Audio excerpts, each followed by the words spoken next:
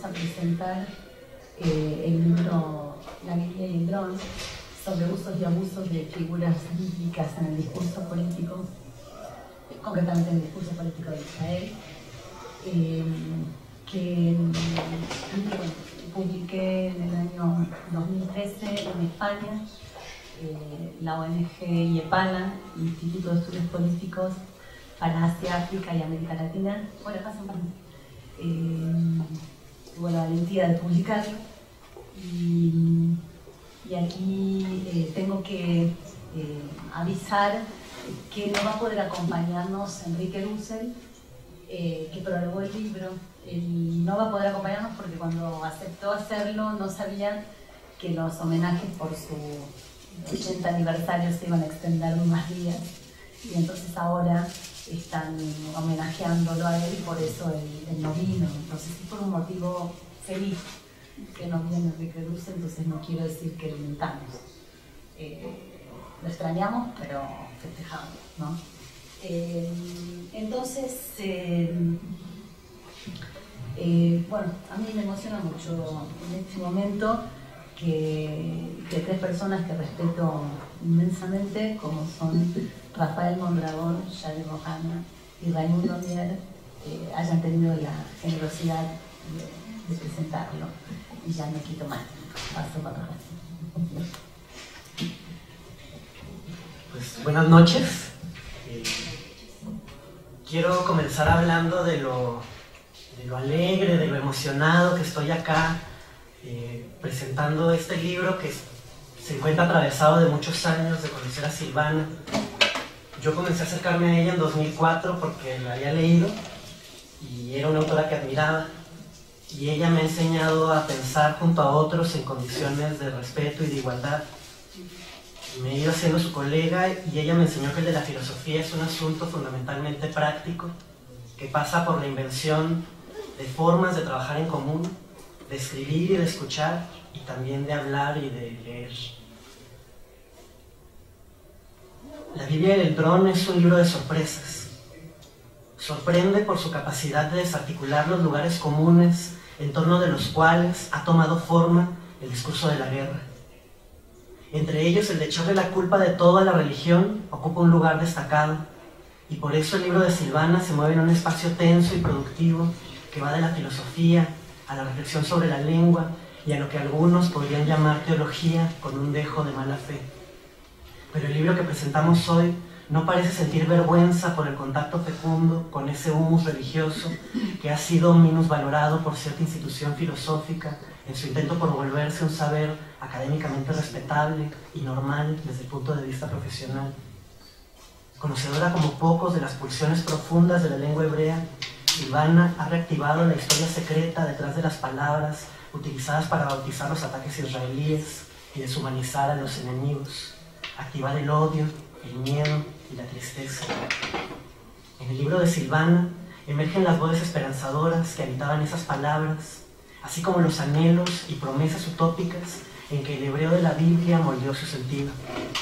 Al inicio del texto, la autora reivindica su, libro como un ejercicio moroso de traducción, entendiendo esta palabra en su sentido filosófico como el intento de leer una lengua para encontrar huellas de usos más antiguos, voces del pasado que alimentan el presente y a veces pueden ayudar a pensar presentes distintos del nuestro. Por eso, al leer la Biblia, Silvana busca ensayar modos de interpretación liberadores, la cito, que permitan otra relación con la palabra, esto es, que la lengua se vuelva vehículo y promesa de justicia. La lengua nunca es solo nuestra y por ello tiene que ver con el mandato de justicia de otros que nos heredaron. Pero la Biblia y el dron es también un libro sobre la violencia. Con amor estremecido, pero sin ingenuidad, su autora también devela las mutilaciones que tuvieron que hacerse para que una lengua sagrada perdiera su riqueza histórica, su densidad y pluralidad y quedara encorsetada en los límites monológicos de una lengua nacional.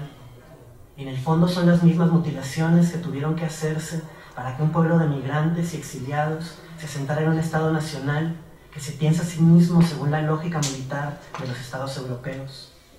La violencia hacia los otros fue posible gracias a un ejercicio sistemático y terrible de empobrecimiento de la propia herencia, la propia posición moral que tuvo consecuencias sobre la lengua.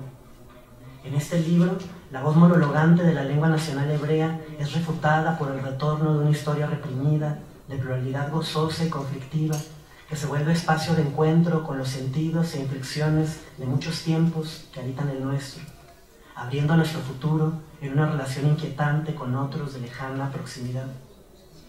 En un texto que escribió hace años, Silvana había intentado pensar los gestos filosóficos que informaban la escritura de Walter Benjamin y otros autores amados. Hoy me sorprendo por el gesto del presente libro que puedo calificar al tiempo de amoroso y valiente, de, de fuerte y cuidadoso. Silvana se resiste a caer en el chantaje que califica de antisemita a cualquier crítica a la política israelita. También se resiste a regalarle la Biblia a los dirigentes del Estado de Israel. No alimenta los lugares comunes con que derechas e izquierdas se han acostumbrado a caracterizar ambos lados del conflicto. Afirma con valentía, y la cito, que la crítica abierta es más fiel y amorosa que la complicidad aduladora que por miedo profundiza el daño. Quisiera cerrar con algunas reflexiones respecto de lo que este libro puede aportar de los estudios universitarios en épocas como las que hoy vivimos.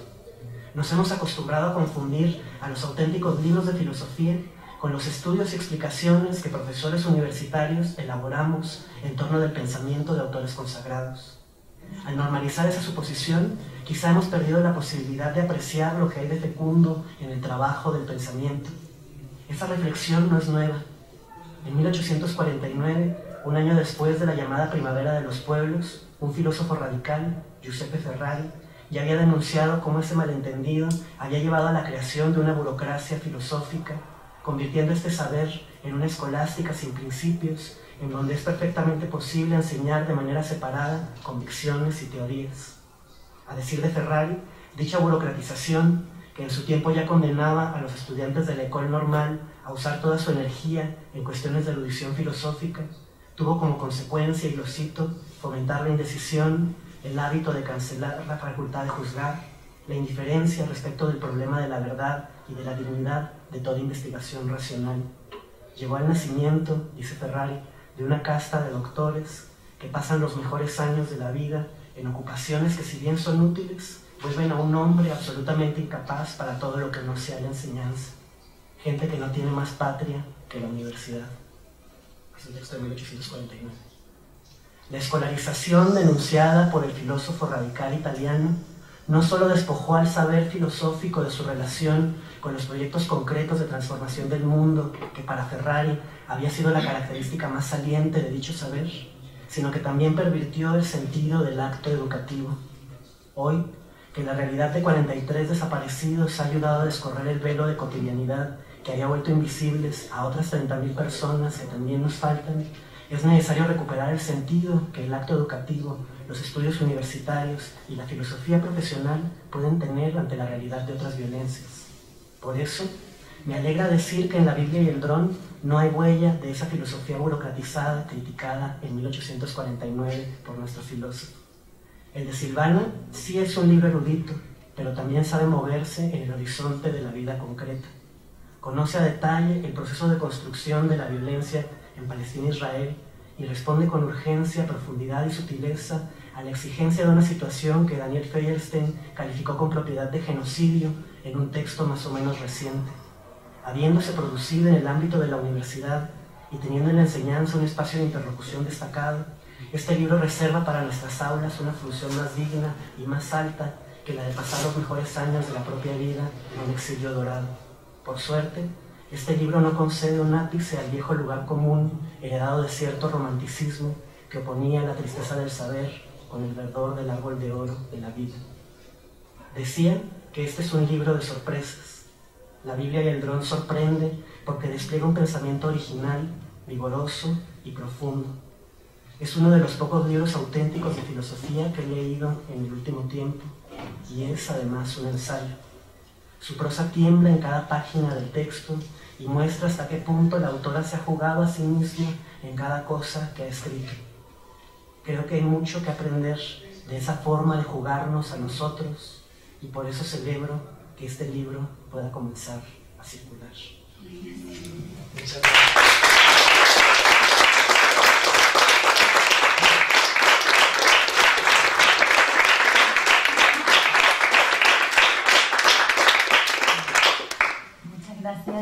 Eh, aprovecho eh, anunciar que llegó aquí Pietro Ameglio, que junto con Rafa y yo eh, tenemos una, cátedra ambulante que se llama Desobediencia de Vida. En las palabras de Rafa se puede escuchar de algún modo el tono eh, que nos representa y, con el que generosamente la, licenciatura en, Desarrollo y Gestión Cultural nos abrió el espacio esta vez para que podamos presentar este libro. Eh, entonces, yo hago un aplauso también para Pietro, que está haciendo mucho.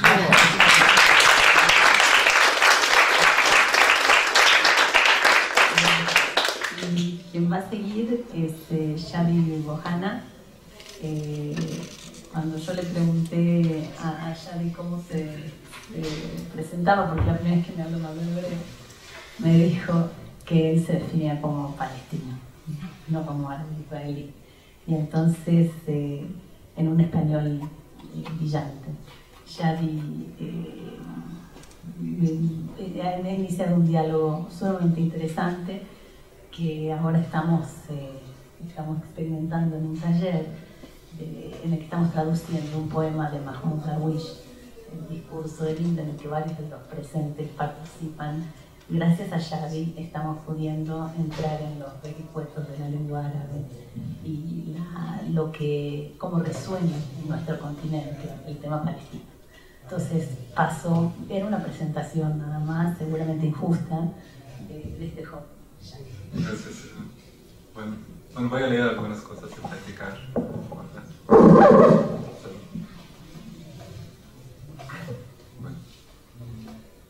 Estamos aquí para presentar el libro La Biblia del Trono, de Silvana Rabinovich. Pero además de convocarnos aquí para discutir este tema que sigue siendo desafortunadamente pertinente en lo más concreto, nuestra presencia aquí es también un homenaje a la autora del libro, Silvana, no solo a Ricky Lucy. Conocí a Silvana por primera vez cuando la escuché en una mesa sobre este mismo libro y en esta facultad hace más o menos dos años, poco después de mi llegada a México. El evento se llamaba Semitismos, Antisemitismos, Gaza y Jerusalén, convocado dos meses después de la operación israelí militar, que la conocemos como Operación Velar, Defensivo. Pero como señala, pero como señala Silvana, eh, este nombre no llegó a través de la traducción inglesa, porque en, eh, en hebreo se dominó con el nombre bíblico de Anan, columna de nube, evocando la nube con la que Dios protegió del sol del desierto a los esclavos durante el éxito de Egipto. Es una cita de un artículo de, de Silvano. Entonces el evento fue convocado dos meses después de la operación israelí en Gaza, una de las tres agresiones militares israelíes en los últimos cinco años que han infligido una muerte rápida a la población de refugiados palestinos en la, en la franja de Gaza, quienes sufren desde el 2006 un bloqueo por tierra, mar aire. Vine a México para ingresarme en el posgrado de estudios latinoamericanos en la UNAM porque pensaba que no quise ni pensar ni hablar de Palestina. Un conflicto, una lucha, una causa de los cuales ya se ha hablado mucho y se escribe demasiado. Y yo ya lo tenía claro que esta atención es debida a que nuestro enemigo es Israel, que nos englobó en el seno de una cuestión europea, la cuestión judía, de la cual nunca formamos parte. Eh, hay un, el representante de la OLP en, el Líbano, Shafiq el una vez dijo el hecho de que Israel es nuestro enemigo es nuestra bendición y maldición a la vez. Si hubiéramos tenido otro enemigo, la mayoría de la gente en el occidente, aquí con Busik, en el occidente, eh, no habrían escuchado hablar sobre, sobre nosotros. Y ni hablar también de toda la experiencia de los judíos árabes en el mundo árabe, que fue una experiencia vivida muy distinta a la experiencia de los judíos en, en Europa, porque nunca llegó a las barbaridades que llegó en Europa. Después de la mesa, me acerqué a hablar con Silvana y rápido descubrimos amistades comunes y una lengua en común, el hebreo moderno, que yo la domino por la misma razón que en estas series hablamos en español. Pensé que con Silvana solo iba a tener una amistad o no más una familiaridad con una persona con quien de vez en cuando podré desahogarme sobre lo que pasa en mi tierra. Hoy, además de ser una amiga, es también una maestra, mentor y un ejemplo. A través de nuestras pláticas, su hospitalidad y observando y leyendo a Silvana, ella me ayudó a retornar a mi país, mostrando lo genuino, creativo y retador que puede ser pensar Palestina desde otras latitudes aquí en América Latina, que es todo lo que es este, este libro. Eh, me gustaría leer, leer un párrafo de la introducción del libro. Y dice Una pregunta espera en el horizonte. ¿Por qué pensar en español latinoamericano, específicamente argentino y mexicano, un conflicto que concierne a otras lenguas semíticas y lejanas latitudes, y a lejanas latitudes? Porque así como los medievales, inspirados en la Biblia, llamaban a Jerusalén el ombligo del mundo, hoy la la hostilidad en esta tierra sigue siendo la caja de resonancia de las hostilidades mundiales no solo por los intereses económicos o políticos de las potencias y por el lugar que Occidente, específicamente Europa, recupera en Medio Oriente a través de sus expulsados judíos, sino porque Occidente, pretendidamente secularizado, tiene su espiritualidad y las tumbas de sus ancestros en Tierra Santa, en el corazón del Medio Oriente. Allí mismo donde la religión del tercer libro también ha echado raíces y extendidas ramas y porque desde nuestra América, que fuera, colonizada, que fuera colonizada por la misma España que simultáneamente persiguió tantos a judíos como a musulmanes y expulsaba a los primeros, más tarde a sus moriscos, podemos tender un oído sensible a la anterior. Nosotros, americanos, tan otros de Europa como aquellos judíos de entonces, como los musulmanes y los árabes de hoy, podemos leer a la luz de la memoria de una colonización que con el tiempo solo va cambiando de atavíos. Entonces, muchas gracias Silvana y gracias por, por este evento, por la invitación y compartir con Rafa y con, Mundo. Bueno, en una nota de actualidad que aparece al comienzo del libro, Silvana dice que ella anhela que el contenido de este libro sea parte de un pasado perimido, que queda como un testimonio de una pesadilla obsolescente que se consulte un día como una curiosidad. Es una cita del libro. Creo que es un deseo que compartimos una, una y otra vez todos los que estamos aquí. Y una, y una y otra vez estamos más y más lejos de alcanzarlo. Desde la publicación del libro de Silvania en 2013 ocurrieron dos eventos que no arrojaron el libro a un pasado lejano, sino a nuestro presente y futuro, exigiendo una nueva lectura y nuevas preguntas. El primero fue en julio y agosto de 2014, cuando el ejército israelí arrojó la muerte rápida a Gaza por tercera vez en los últimos cinco años causando la muerte de más de 2.000 palestinos. Y la, la, cifra sigue aumentando porque la gente sigue muriéndose en los hospitales o fuera de los hospitales. Esta vez la operación de muerte llevó el nombre hebreo de Tzukeitan, lo que significa peñasco fuerte. Y también otra cosa que, que me gustaría citar a Silvana aquí, en un artículo reciente, que dice que claro que las traducciones se prestan a eufemismos, y el inglés prefiere un nombre más defensivo que belicoso, y por eso hoy lo conocemos en español como margen protector. Peñasco fuerte se conoce en como margen protector de operaciones El segundo evento es la incorporación de la palabra dron en la lengua española por la Academia Española. Ya no tenemos que escribirlo como dron en cursiva o con E al final, sino dron así de simple, porque el libro lleva, pues fue antes de la incorporación del libro, tenemos el dron en inglés. Y, y damos a las generaciones futuras la pregunta, que hoy es fácil de contestar, de por qué la palabra inglés drone entró al español en nuestro siglo, tal como Antonio Alatorre en las mil y un años de la lengua española dejó abierta la pregunta de por qué hasta hoy utilizamos el verbo linchar en español. El tema principal de este libro es la lengua, y más específico el hebreo moderno, la lengua nacional del Estado de Israel que supuestamente hizo resucitar la lengua de los antiguos hebreos. El lituano judío, el, lexicógrafo Eliezer Ben Yehuda, fue el protagonista de la obra de revivir y actualizar la lengua hebrea acentuando su componente semítico, eligiendo acercar al árabe en un afán de pureza, una cita del libro.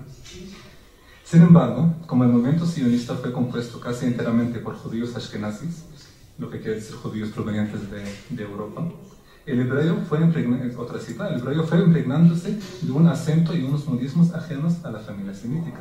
Y así el componente secular y eurocéntrico se impuso en el habla a través de la conducción política. Se trataba de un uso de la lengua renovada al servicio de la cohesión nacional en el marco de una monológica excluyente que pretendía inmunizarse ante el otro, el enemigo, el palestino, el árabe. Y aquí tenemos un dato muy interesante. Desde su constitución, el hebreo moderno, al igual que el sionismo, fue impregnado por el paradigma orientalista, según el cual lo sunita, oriental, árabe, todo entre comillas, es puro, con todo lo que esto implica. Ya sabemos mucho sobre esto en México que es salvaje, congelado en el tiempo, y, etc.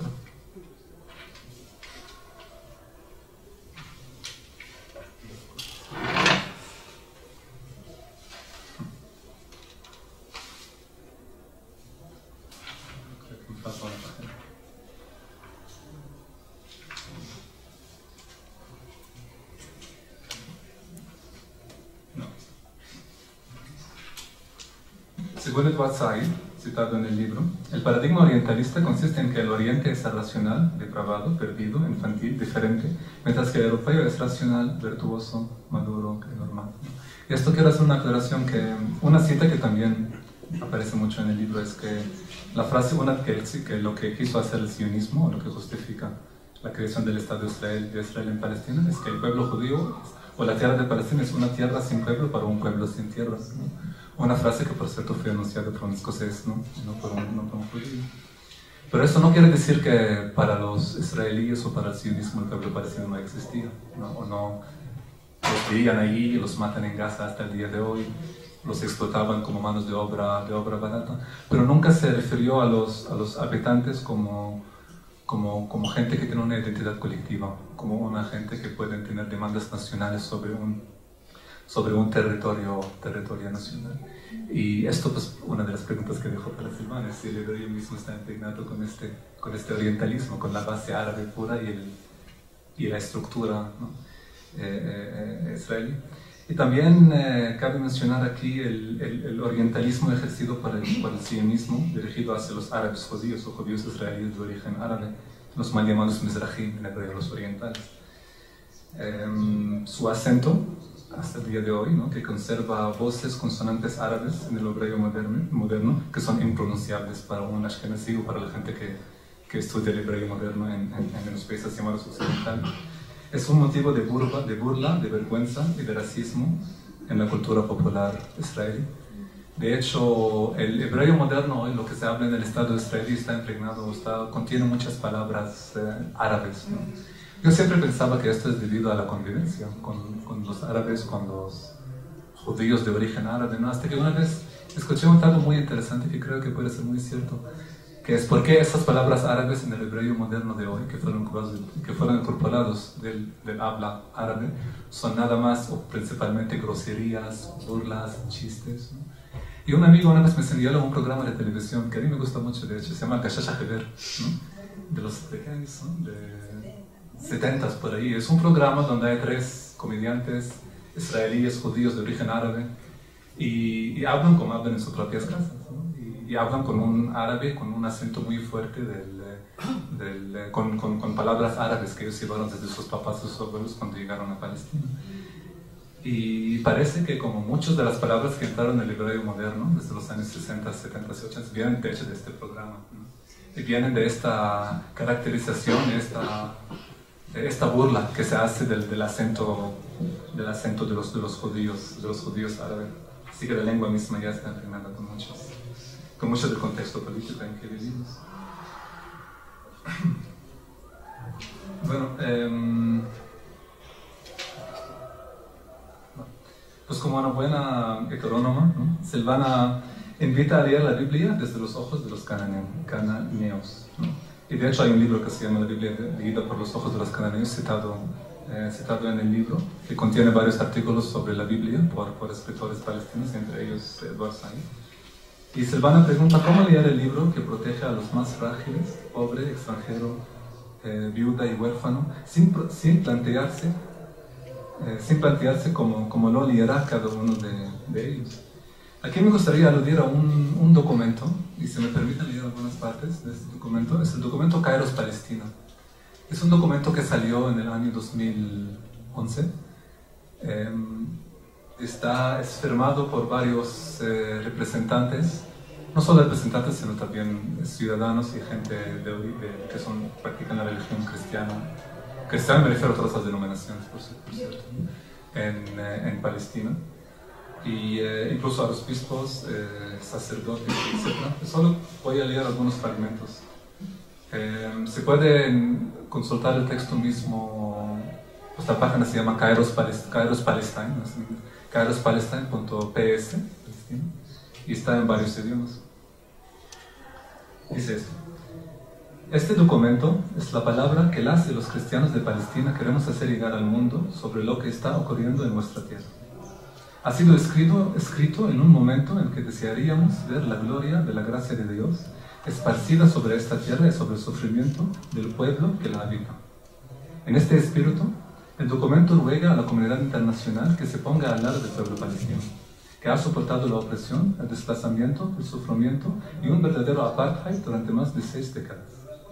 Este sufrimiento continúa ante el silencio de la comunidad internacional frente al Estado ocupante, Israel. Nuestra palabra es un grito de esperanza acompañado de amor, de oración y de confianza en Dios.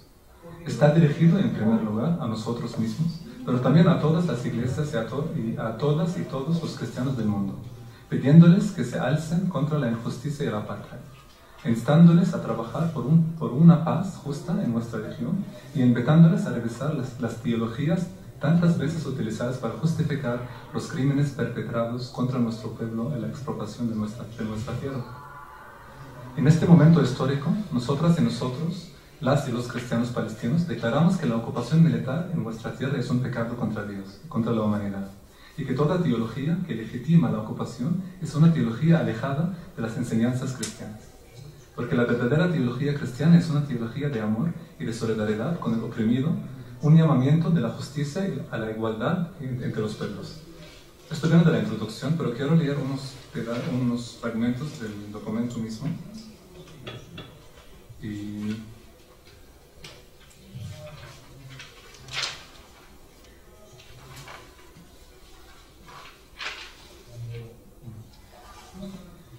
Vuestra presencia en esta tierra, como palestinos cristianos y musulmanes, no es accidental, sino que tiene raíces profundas en la historia y la geografía de esta tierra, como la conexión que cualquier otro pueblo tiene con la tierra en, la que habita.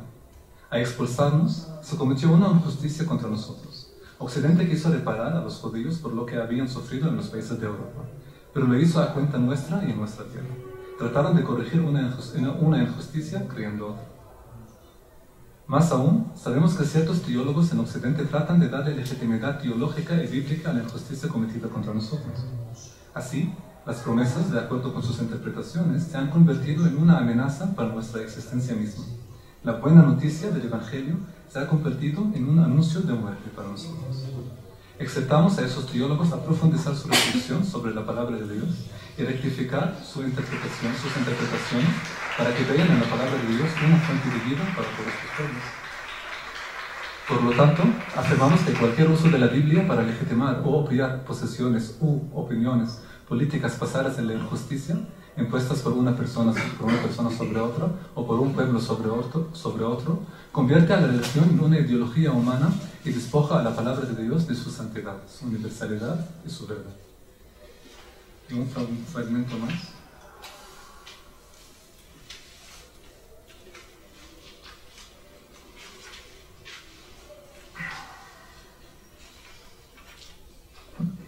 El carácter religioso del Estado, ya sea hebreo o musulmán, ahoga al Estado, lo confina dentro de límites estrechos y lo convierte en un Estado que practica la expulsión y la discriminación, al preferir a unos ciudadanos sobre otros. Nuestro llamado a los judíos y a los musulmanes religiosos es el siguiente.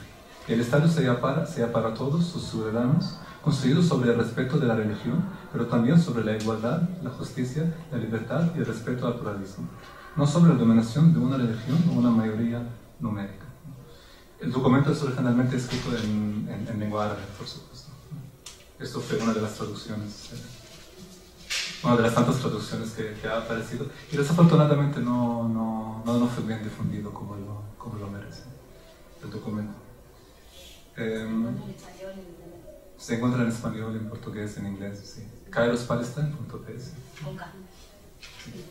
Claro, sí. Y está, es un eco de un documento similar que salió, de hecho como el, documento mismo también hace un llamado a participar en la campaña de, de, boicot, y desinversiones y sanciones contra el Estado de, Israel, ¿no? le mando como el BDS. Y, y, el nombre Kairos Pion, la verdad no se van a seguro saber cuál es el origen de la palabra Kairos, pero um, está haciendo un eco de un otro documento que salió en los años 80, creo que es de 86, firmado por sacerdotes sudafricanos que mandó al boicot contra, contra Sudáfrica para acabar con el apartheid eh, contra los negros en, Sudáfrica. y solo para terminar, eh, yo creo que el libro también, una de las fuerzas que tiene, que, que también pueden sumergir nuevas preguntas hacia otros procesos eh, que están pasando hoy en la actualidad en el mundo Porque el libro al final está tratando de una lectura perversa de, la Biblia.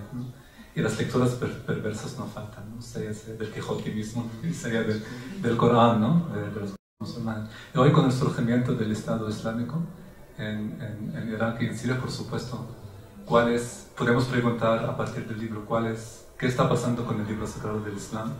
¿Qué está pasando con la secularización del, del, del, del Corán por parte del llamado eh, eh, Estado Islámico? Porque estamos también hablando de un fenómeno nuevo. ¿no? no son los sermones musulmanes, no son los proyectos del Islam político que hemos conocido a lo largo de los siglos, es algo nuevo. Eh, en mucho sentido parecido a lo que pasó con el sionismo en el, y el, el, judísmo. Y, y no solo hacia el Estado Islámico, también yo creo hacia las prácticas de las resistencias palestinas. Eh, hemos internalizado mucho de, de, lo que hace el Estado israelí.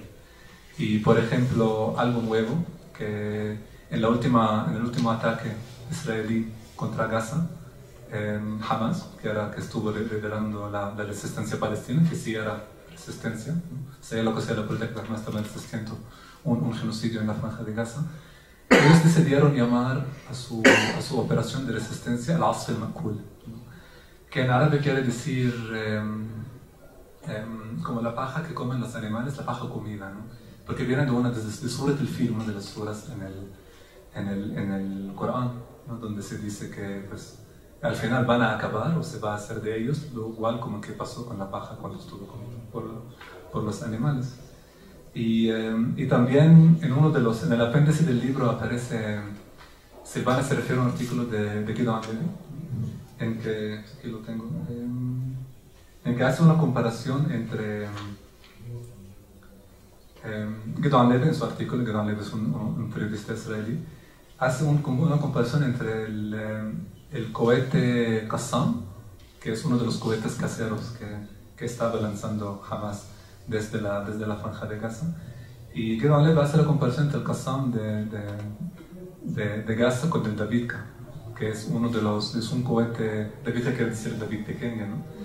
Eh, que fue usado por el Palmaj durante la Nakba palestina, ¿no? entre 47 y 49.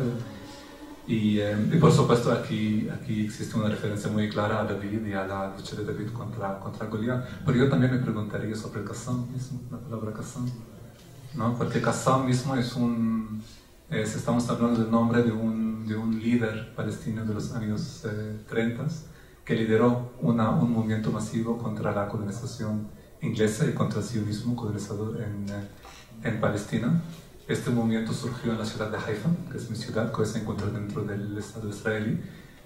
Eh, la mezquita, también un sheikh, y él, eh, él lideró o lidió las, las rezas en la mezquita de la independencia, como fue conocida en Haifa en aquel entonces. Esta mezquita sigue existiendo hasta el día de hoy y sigue conocida popularmente como la mezquita del, del Qassam. Incluso lanzando cohetes desde Gaza, que es una población de refugiados, más del 90% de la población en Gaza son gente que vienen de, de, de las mismas lugares a donde están lanzando sus, eh, sus cohetes. Y hay una referencia muy clara a, a, a Haifa, y una referencia muy clara a lo que, a lo que hemos vivido en, en Palestina en los años 30 por el momento lo dejo aquí. Muchas gracias.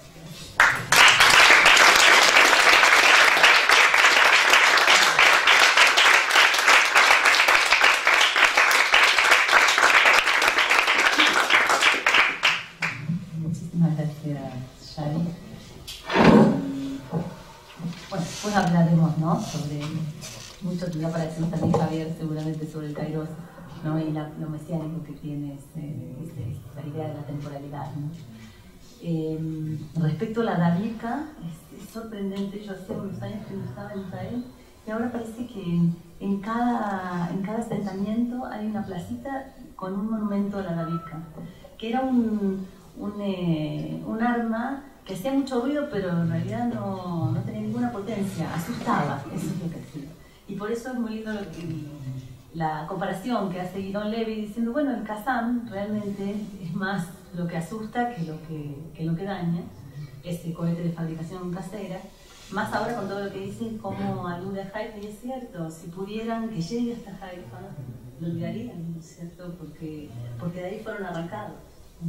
Eh, son armas pequeñas y ruidosas, son débil fuerza ¿sí? Eh, de la resistencia. Eh, lo que es tremendo es como, como, eh, como se sigue haciendo la colonización en nombre de David el Pequeño. ¿sí? Entonces, con todo el despliegue armamentístico, con esto que el historiador Amnon Rastra se atrevió a decir en un artículo, que el tercer, el tercer templo todavía no se construye, pero tiene su análogo en la central nuclear de Limón, ¿sí? porque tiene hasta la misma cúpula de un, templo. Eh, en nombre de, una pretendida eh, fragilidad, eh, se está actuando de la manera, con una fuerza desmedida y, brutal. Y es increíble cómo el estandarte pasa a ser la radical.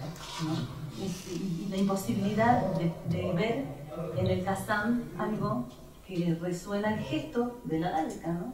Finalmente un arma que, que es débil. Bueno, yo agradezco muchísimo eh, a, a Yadi y me quedo por decir algo, eh, Rafa nombró a Daniel Firestein y quisiera hacer una pequeña, un pequeño aviso. El día martes a las 11 de la mañana va a estar Daniel Firestein hablando de hermenéuticas del genocidio en el Instituto de Investigaciones Filológicas. Están todos cordialmente invitados este martes a las 11. ¿sí? Él es director del Centro de Estudios sobre Genocidio, por eso era muy importante que él, que es judío también, diga finalmente, se, se, se exprese acerca del genocidio y lo hizo en esta última incursión eh, a Gaza. Eh, lo otro que está transcurriendo todos estos días es lo del Monte del Templo, pero de eso hablamos más tarde en todo caso, ¿sí? Jerusalén. Eh, bueno, ¿qué decir de Raimundo?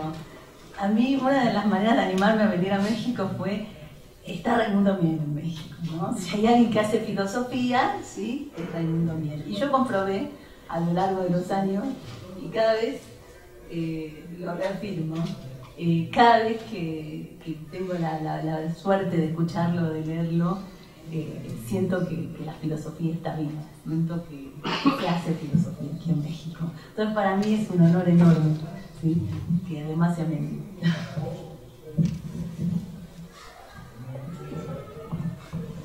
Bueno, un poco me abruma la presentación, pero este, trataré de de resistir a, esta, especie de obnubilación que me produces. Eh, eh, eh, en realidad, yo quisiera abordar la lectura de este libro desde un conjunto de metáforas.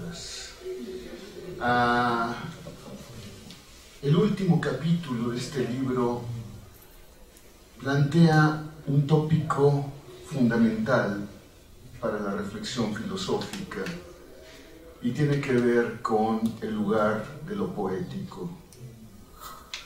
Ah, hay algo que aparece en, ese, en esa referencia a lo poético y me parece que es fundamental pensar que es el capítulo que cierra un libro que está articulado a través de las facetas del lenguaje y de la guerra, de la destrucción y de la muerte, eh, de la injusticia, del sometimiento, de la degradación, de la degradación del lenguaje también y de la degradación de los vínculos.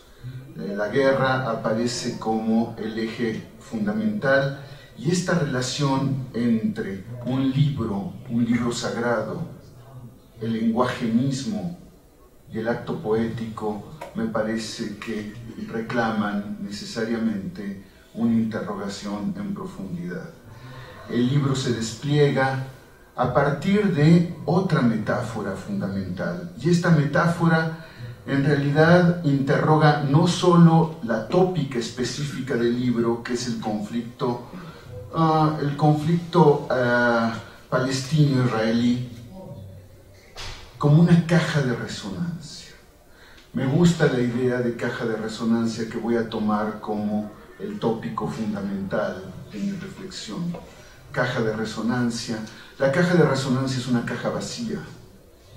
Es una caja en la cual en realidad es el exterior el que puebla de sonoridad ese, ese ámbito, construye esa interioridad desde el exterior.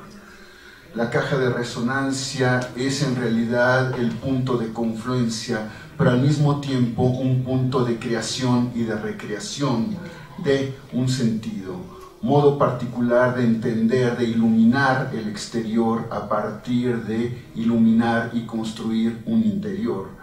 La caja de resonancia aparece entonces como, me parece, una metáfora del lugar de la filosofía, y la naturaleza del pensamiento filosófico como un régimen de lucidez. La idea de lucidez es precisamente esa, la idea de una caja de resonancia. Eh, recobro eh, también una aparente, eh, aparentemente distante metáfora de, de la caja de resonancia en una magnífica, impresionante carta de John Keats acerca de la naturaleza del acto poético. Uh, Keats dice, el yo poético es un yo vacío, es una caja de resonancia donde el mundo cobra sentido. El acto poético es esta caja de resonancia donde el mundo cobra sentido y ese cobrar sentido del mundo en realidad es el trabajo del acto de lucidez. Para mí, el acto filosófico es eso estrictamente, es la lucidez, la exigencia de lucidez, la pregunta por el destino y la naturaleza, la fuerza y la capacidad de invención y de creación del pensamiento en un diálogo que es necesariamente al mismo tiempo conocimiento, invención, recreación de el acontecer. El acontecer que es conflicto, el acontecer que es guerra, el acontecer que es también lenguaje, el acontecer que es también creación de conceptos y creación de inteligibilidad. La lucidez es este acontecer de creación de inteligibilidad. Hacer inteligible algo que es particularmente extraño, opaco a la reflexión, que resiste y que cede permanentemente a algo que son las tentaciones del lenguaje, las tentaciones del libro. Esta relación entre las tentaciones del libro y las tentaciones del lenguaje que a veces eclipsan, cancelan la fuerza y la exigencia de la lucidez.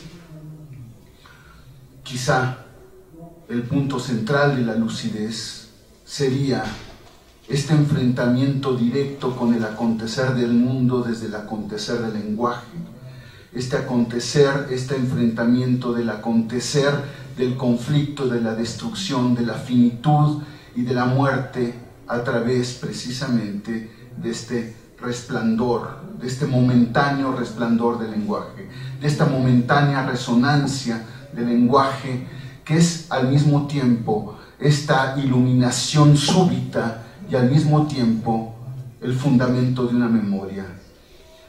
Ah, la idea de caja de resonancia eh, en, ah, en, el trabajo de, de, eh, Silvana eh, nos lleva precisamente de esta idea de eh, transitar de un episodio, de un, de un, acontecer, de un acontecer brutal, de un acontecer marcado por la violencia y la injusticia, el sometimiento, la destrucción, marcado por la muerte, para la iluminación particular de un modo de comprender el estar en el mundo, el estar, el pensar en este estar en el mundo.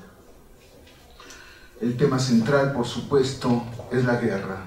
La guerra una condición enigmática, una condición particularmente desafiante. Un antropólogo quizá uno de los antropólogos más polémicos, pero al mismo tiempo más interesantes, se extrañaba de esta reticencia de los, él decía de los antropólogos, pero yo también podría decir de los filósofos, a pensar la guerra. Ah, no hay antropologías de la guerra casi. Las antropologías de la guerra son reticentes y además exorcizantes, como si el pensamiento que se enfrenta a la guerra tuviera la necesidad de eludir la exigencia de lucidez para construirse en un permanente repliegue, en, una permanente, en un permanente olvido, en una permanente descalificación o en un permanente, eh, eh, eh, un permanente búsqueda de consuelo. La idea de guerra en realidad aparentemente como una especie de fatalidad extraña, como una especie de fatalidad elusiva que o no merece o no reclama o es estrictamente ajena a la exigencia filosófica. Filosofías de la guerra, reclamamos entonces la idea de enfrentar el tema de la guerra, enfrentar el tema de la violencia radical, de la violencia extrema, como llegó a decir alguna vez uh, Hannah Arendt, uh, de la violencia extrema, de la violencia que rechaza efectivamente la fijeza y la caracterización eh, tranquilizadora, la, serena aprehensión del concepto. No hay concepto de guerra. No puede haber concepto de guerra. Cada guerra es única. Cada guerra es una destrucción específica. Cada guerra es un sometimiento brutal y es una confrontación brutal con el intento de comprenderla cada guerra es un, es un desmentido de toda posibilidad de una fijeza conceptual, de una idea de generalización, de una eh, eh, pretensión de explicación de la guerra. No hay explicación de la guerra, pero hay sí, quizá, una posibilidad de una aprehensión del sentido, de este sentido que además ilumina radicalmente los ámbitos de nuestra vida, de nuestra vida cotidiana y de nuestra historia, de nuestra memoria y de nuestro futuro. Pensar la guerra, pensar la guerra contemporánea, es pensar también la guerra pasada, es pensar la guerra futura. El tema de la destrucción recorre de, un, de una parte a otra el pensamiento de la guerra. En, una, en un fragmento que particularmente eh, le gusta a Silvana de Walter Benjamin, el del ángel de Klee, ¿no? Uno de los gestos magníficos que conservo para mí en mi memoria, ah, para siempre, es uno de los regalos de Silvana, una pequeña postal del ángel de Klee que tengo en mi escritorio permanentemente. Bien. Ah, eh, eh, ah, el, ángel, el ángel de Cle, el ángel de la historia, el ángel de la destrucción, el ángel que contempla la destrucción, que contempla la destrucción y que es arrastrado por el viento, por un viento que dice Benjamin, solemos llamar progreso.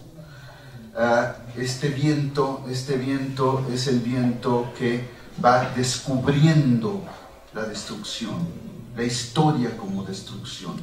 La historia, lo dice casi Benjamin, cuando dice documento de cultura es documento de barbarie. Es un modo de situar el pensamiento frente a la guerra, la barbarie. No hay posibilidad de entender la historia sin una reflexión frontal sobre la barbarie. Este libro es un libro sobre la barbarie. Es un libro sobre la barbarie entendida de una manera fundamental, no, no etimológica, ni este, este, eh, eh, etimológica, ni históricamente, historiográficamente. La barbarie en su condición constitutiva de un modo de existir de los hombres en la cultura. Se trata de la guerra, efectivamente, de esta guerra palestina-israelí, que es en realidad la guerra que significa también la barbarie y la injusticia. ¿Quién asume la injusticia? Que es estrictamente este imperativo de destrucción, de sometimiento, de violencia, de dolor, de imponer el dolor a los otros, de imponer el sufrimiento a los otros. Nuevamente el desafío filosófico es el desafío de un esclarecimiento del dolor y un esclarecimiento del sufrimiento, el lugar y el sentido del dolor, el lugar y el sentido del sufrimiento en nuestra comprensión de la historia, en nuestra comprensión de nuestro régimen de acción y nuestra manera de comprender y de construir nuestros conceptos para entender precisamente nuestro lugar, nuestro existir, nuestro acontecer en el aquí y ahora. Los capítulos del libro van explorando precisamente estas facetas de la guerra, facetas extrañas, facetas que van desde la complicidad, ser cómplice de la guerra. ¿Qué es ser cómplice? ¿No? ¿Cuál es el, el, sentido de este amparo? ¿No? El cómplice, el que ampara, el que oculta, el que cierra los ojos, el que se vuelve, el que pretende el desconocimiento, el que de alguna manera soporta y sostiene a partir de la ignorancia, a partir de la reticencia, a partir de la huida, a partir de la cobardía, a partir de, eh, de la derrota, a partir del resentimiento. Evidentemente, hay algo, hay algo del orden de la bajeza en la complicidad. Y esta bajeza reclama un modo particular de soporte. Este soporte y este es uno de los escándalos, es el libro sagrado. El libro sagrado como soporte de esta ceguera que se expresa como régimen de complicidad.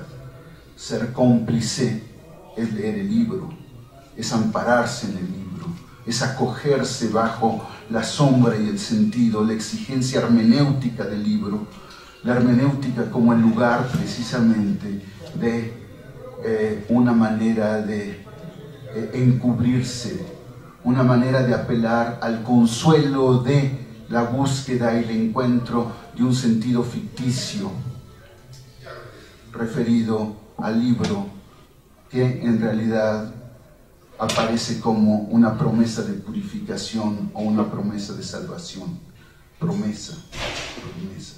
Construir el libro sagrado como promesa como una promesa, por supuesto, hecha desde la exigencia y desde la pretensión ya de cancelar la promesa, de rechazar la promesa. La complicidad aparece entonces como una de las facetas fundamentales de la guerra. No hay guerra sin complicidad. Y esta condición constitutiva de la complicidad, la complicidad no es un accidente de la guerra, no es algo que a veces ocurre, es una condición de la guerra misma. Y esta condición de la guerra, que es la complicidad, aparece precisamente en este libro. En este libro donde complicidad tiene que ver también con los recovecos del lenguaje, con las formas particulares del eufemismo, con las metáforas de, la derrota, con las metáforas del extrañamiento y de, eh, del desdecir. La metáfora se traiciona, la metáfora como un desdecir y no como una exigencia de lucidez. A la idea de complicidad aparece también la otra, otro escándalo, la hermandad. El hermano, la metáfora del hermano, la metáfora del hermano que eh, involucra ya necesariamente una eh, una interrogación sobre la naturaleza extraña del conflicto inherente a todo régimen de identificación. el tema de la identidad como este resorte extraño, equívoco y oscuro de la destrucción. La identidad como condición y como fundamento de destruir. Destruir al otro para cobrar identidad. Destruir al otro para consolidar una posición. Destruir al otro como un modo particular de consolidar esta, esta eh, jerarquía, esta precedencia en, eh, en la autoridad, precedencia en eh, la dominación. El tema de la hermandad es nuevamente esta forma extraña de la complicidad, del ocultamiento, detrás del amor de la hermandad, detrás de eh, esta quizá exigencia de solidaridad o esta pretensión de solidaridad de la hermandad, late este, este, este enorme conflicto. Eh, Silvana apela directamente al tema de Caín y al, al, digamos, al desplazamiento hacia José y sus hermanos, etcétera, en esta exploración particular de estos matices extraños de la alianza, de la alianza para la destrucción, de la alianza para la cancelación de eh, esta posibilidad de diálogo, la alianza como extinción del diálogo, la alianza como una forma particular de sofocación de la diferencia con el otro. Y la idea de diferencia que rechaza necesariamente su eh, reducción a una, a, una confrontación de una jerarquía, a una dominación de una voluntad de exclusión. La idea de hermandad habría que plantearla de una manera singular. Silvana eh, alude rápidamente a Carl Schmitt y a la idea del enemigo, la idea de hermandad y enemistad, y esta extraña, ah, este desplazamiento permanente de una categoría en otra, de la categoría de hermandad a la categoría de enemistad, enemigo y hermano, enemigo y amigo, amigo y hermano, en este juego permanente de construcción de sentidos equívocos que en realidad velan eh, la fuerza misma de la vocación destructiva, de la vocación guerrera, de la vocación de sometimiento.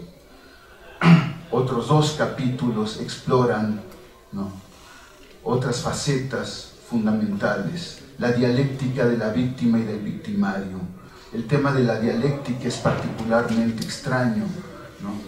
Sabemos que la dialéctica tiene estos recovecos oscuros, estas formas particulares de encubrir esta referencia de una teología, una teología que también constituye un amparo para las ideologías de eh, la derrota y del sometimiento. Pero hablemos también de este juego en que la víctima y el victimario intercambian papeles. La víctima es que se convierte en victimario, el victimario que se convierte en víctima este juego de identidades cruzadas, este juego de identidades en desplazamiento, este juego que de alguna manera también busca suprimir eh, la posibilidad de una comprensión y una iluminación de lo que está en juego en el régimen de la destrucción, del sometimiento y del dolor. Permanentemente el juego de quién es la víctima y quién es el victimario, como si la víctima tuviera una dignidad mayor que el victimario y entonces esa dignidad mayor se constituye en una condición de supremacía que hace posible victimar al otro.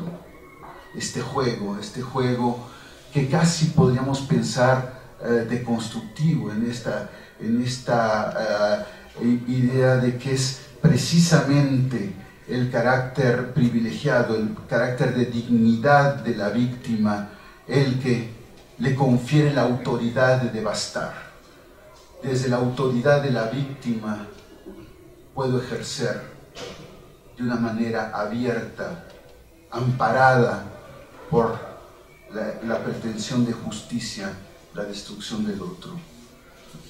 Esta, esta, esta inversión extraña, esta inversión que eh, eh, podremos decir hace entrar en correspondencia la víctima y la dignidad de la víctima, la víctima y el valor superior de la víctima por sobre eh, el, el victimario, algo que nadie podría poner en duda, nadie podría poner en duda. Esa afirmación pone a salvo a la víctima. Y la pone a salvo quiere decir la priva de pensar, diría quizá también Hannah Arendt. En el momento en el que estoy a salvo, a cubierto bajo el atributo de la dignidad, puedo abandonarme precisamente a esta vocación destructiva, a convertir esa dignidad en autoridad de destrucción, en fuerza destructiva y en cancelación de la exigencia de lucidez y de la exigencia de diálogo. Diálogo es lucidez, no hay otra posibilidad. Entonces la dialéctica de la víctima aparece como esta otra faceta magnífica. Entender esas dialécticas, entender todas estas facetas de, eh, de, la, ah, ah, de la guerra, de la destrucción, forman parte de este imperativo de la filosofía, esta exigencia de lucidez, esta exigencia de comprensión del aquí y ahora. Si pensamos que estamos hablando desde un país en guerra, somos un país en guerra, nos negamos a ver eso, nos negamos a ver eso, somos un país en guerra. Ah, la filosofía tiene que enfrentarnos a esa condición, esa condición actual, a esa condición que estamos viviendo nosotros aquí y ahora, la condición de la guerra. Y es una guerra múltiple, es una guerra que aparece diseminada por múltiples instancias y de alguna manera encubierta por otros libros, encubierta por otros lenguajes. Sí, el conflicto árabe-israelí, digo, uh, palestino-israelí, uh, apela a, estas, estos eufemismos, a esta cobertura, a, esta, a este enseguecimiento surgido de la palabra con pretensiones de sacralidad, la palabra del libro, nosotros también apelamos a la palabra para buscar enseguecernos, para no ver para no ver, para no enfrentar, para consolarnos y para apartarnos de la exigencia de lucidez frente a este aquí y ahora que es el nuestro, en este país, en este momento, el de la guerra. Pero es el de la guerra, el de la guerra generalizada. Un extraordinario ensayista, Hans Magnus Enzensberger, hablaba de la guerra diseminada. Ya no estamos en la guerra focal, decía, decía. Ya no estamos en la guerra localizada. Ya no estamos en la guerra acotada en los territorios. Ya no estamos en la guerra que simplemente define en la lejanía a los dos contrincantes, ¿no? A Israel, Palestina. Esa guerra encuentra su resonancia en el resto del mundo.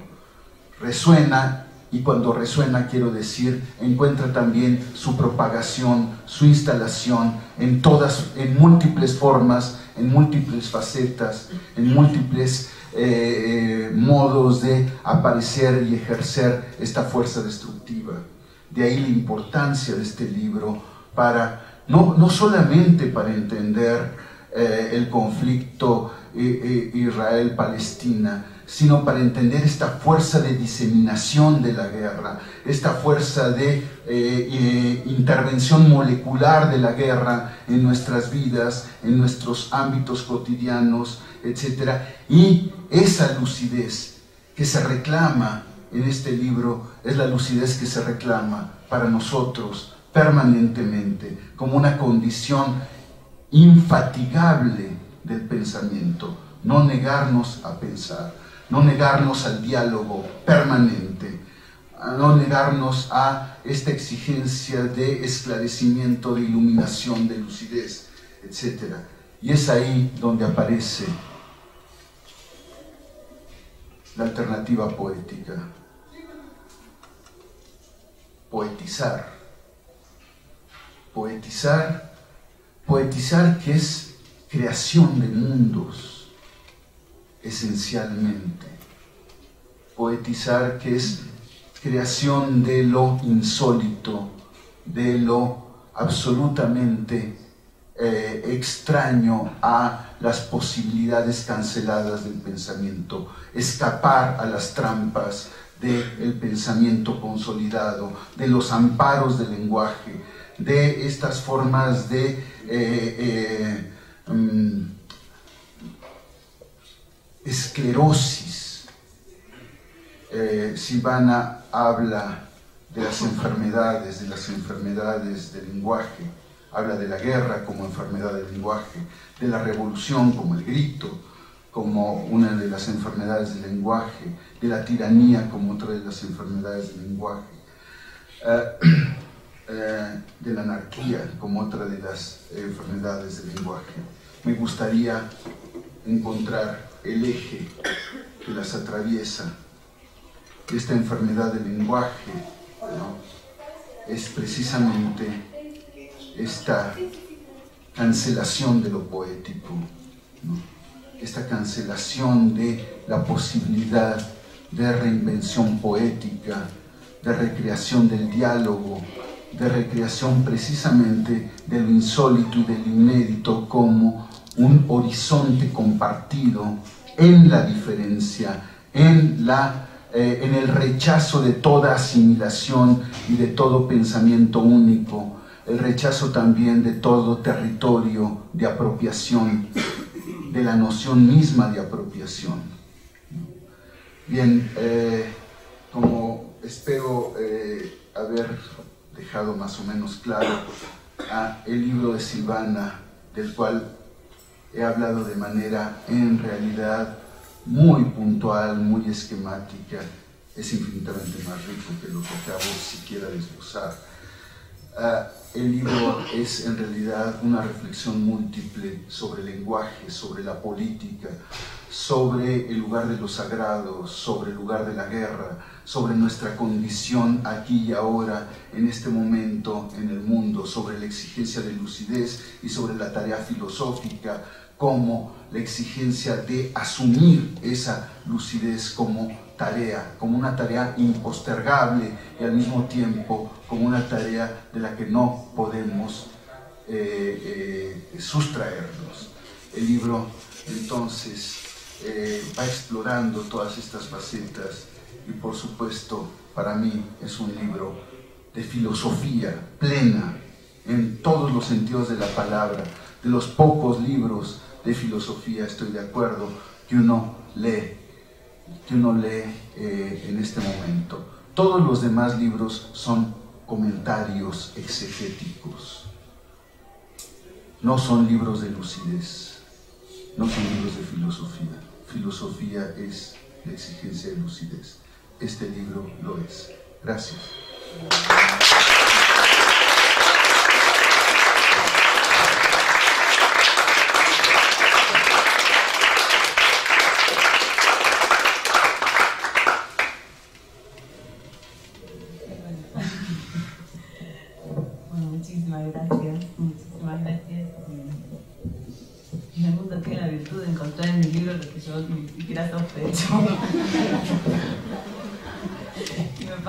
Eh, muchísimas gracias. Eh, podemos abrir al diálogo, incluso yo me anotaría con, con una primera, un primer comentario, si me permiten, porque mm, hiciste un acercamiento, Raimundo, entre lo poético y el diálogo.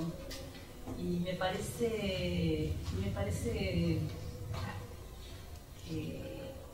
muy osado porque juntas ni más ni menos que lo poético con una palabra tan, prostituida como diálogo, tan abaratada, y que eh, sabemos, yo creo que la mayoría de los presentes aquí conocemos el, libro de Martin Buber, ¿no? el de Una tierra para los pueblos, donde su, ética de yo y tú se ve eh, cada día parada ahí en medio de la arena de de la degeneración de ese, de encuentro, que va viendo obstinadamente como promesa, pero que eh, ve también con mucha lucidez que está yendo en el camino más perverso. Entonces me, me gustaría escuchar un poco más sobre la relación, si estás de acuerdo, si no te has agotado, la poética, lo poético y el diálogo. Eso me parece, me parece y después seguiremos. ¿No? ¿Sí? Claro.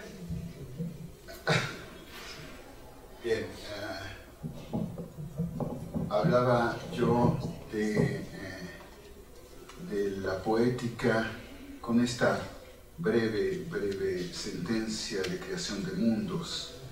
Ah, creación de mundos es creación de ámbitos de encuentro. El mundo no es otra cosa que un ámbito de encuentro. Ah, y el encuentro tiene esta, esta condición, esta condición de eventualidad, pero también esta condición de vínculo. Esta, pienso en... Eh, en esta, y aquí hago un extrañísimo, extrañísimo pues se me acaba de ocurrir, este, eh, eh, esta, este eh, extraño para mí lugar. Es decir, si efectivamente el mundo, este mundo, este mundo creado por, por la palabra, que es un mundo no creado por la palabra eh, la palabra gratuita, no es un mundo, la metáfora no es retórica, no es una figura de la retórica, es una figura de la iluminación. Y esto es algo, es un acontecer del sentido. Es un acontecer del sentido que construye un ámbito de encuentro, un ámbito y una potencia de encuentro hablaba yo del deslizamiento que se me ocurrió, que es en realidad algo quizá muy chocante para esta discusión, que es André Breton,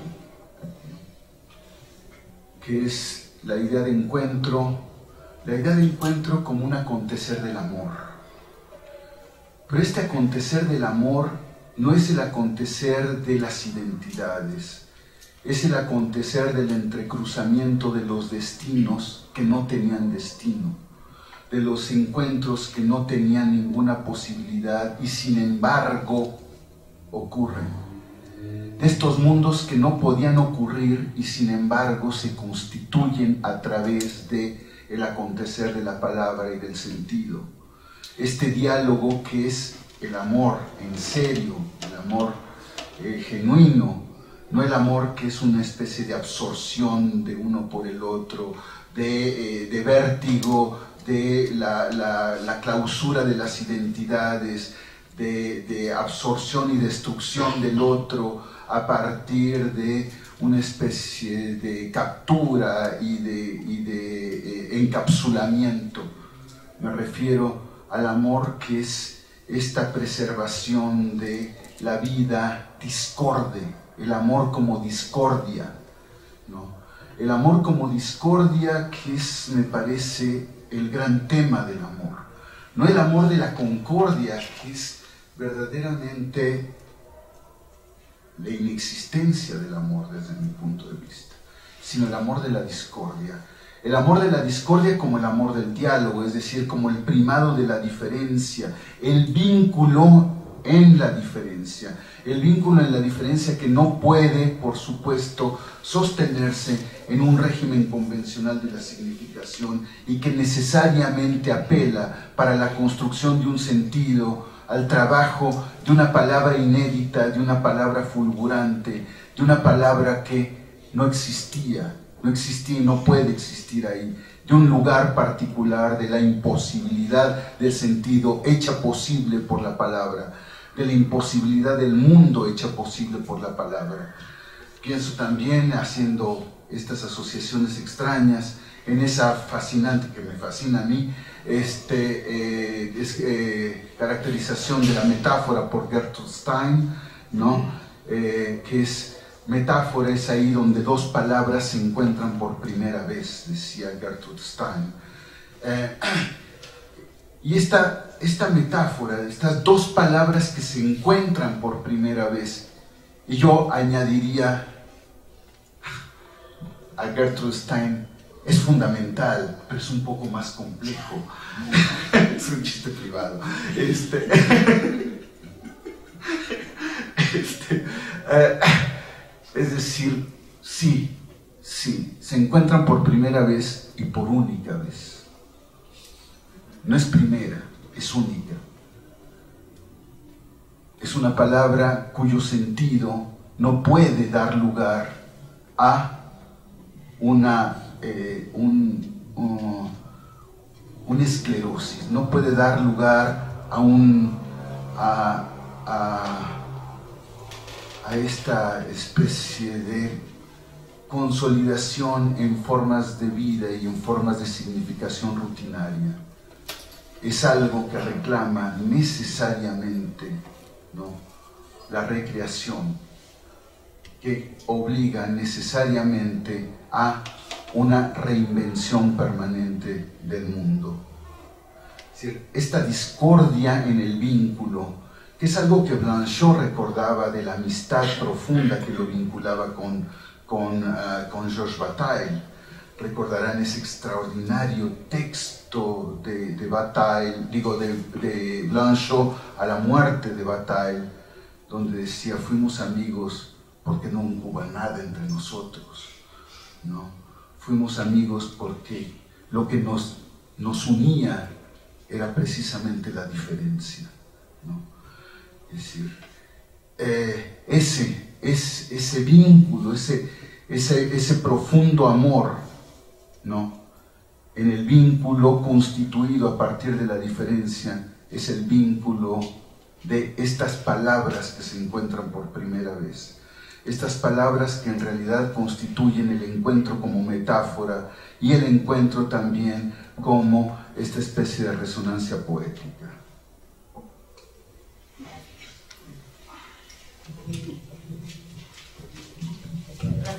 ¿Alguien quiere comentar, preguntar alguna cosa?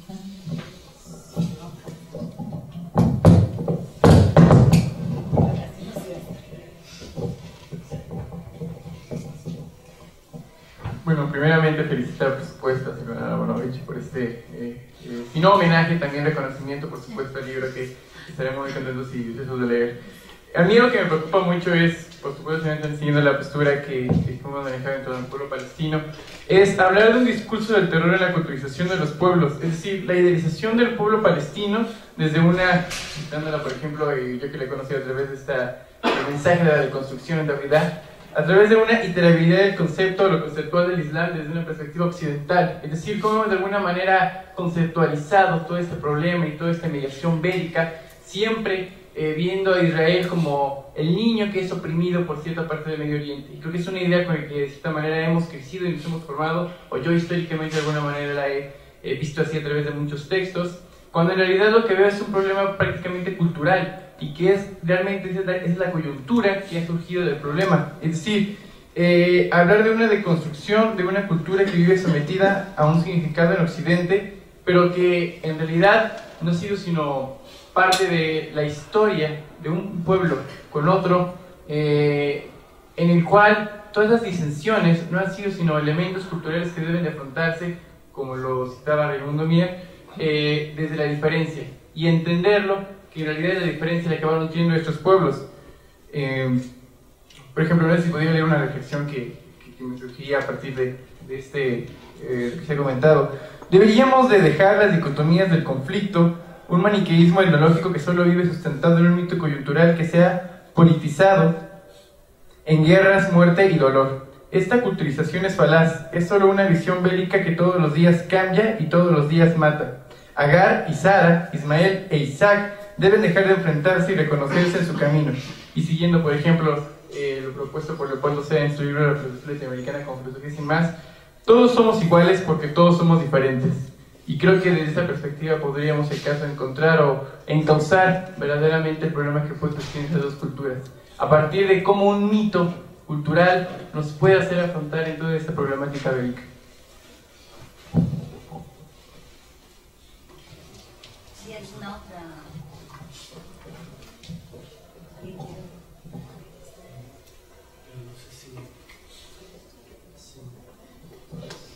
Nada más externo, una preocupación que me viene al escucharte, una preocupación para la que no tengo respuesta, que tendría que ver con pues quizá la necesidad de pensar no solo este conflicto, sino también algunos otros desde un marco que vaya más allá del tema del diálogo y de la tolerancia, para arribar a un problema que parece ser todavía más urgente, que es el de la justicia, eh, que es algo que también está pasando en México, ¿no? El intento de pasar del problema de la paz al problema de la justicia, que supone otro tipo de encuentro, porque es un encuentro en el cual el lenguaje es interpelado por algo que lo rebasa y que tendría que ver, bueno, pues con que, bueno, sí somos diferentes, pero aquí hay algo, hay algo de fondo que se juega.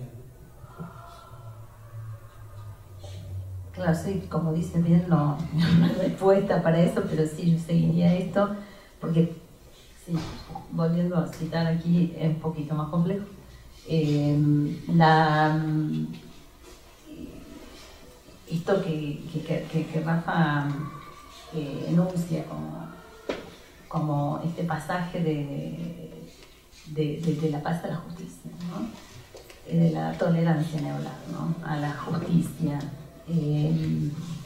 la justicia en un lugar de promesa, diría yo. A mí me llamó la atención cuando justamente el texto que, citaste, no, que no citaste, de leer la Biblia con los ojos de los cananeos, eh, es una compilación que se hizo en Buenos Aires a partir de un texto de Said eh, que él propuso, leer la Biblia con los ojos de los cananeos. Y uno de los autores ahí eh, sostiene que la Biblia es un arma de destrucción masiva. A mí me parece que cualquier libro, como decía tú, el Quijote también puede ser un arma de masiva. Cualquier libro puede estarlo, hasta el directorio telefónico puede ser una Y la Biblia.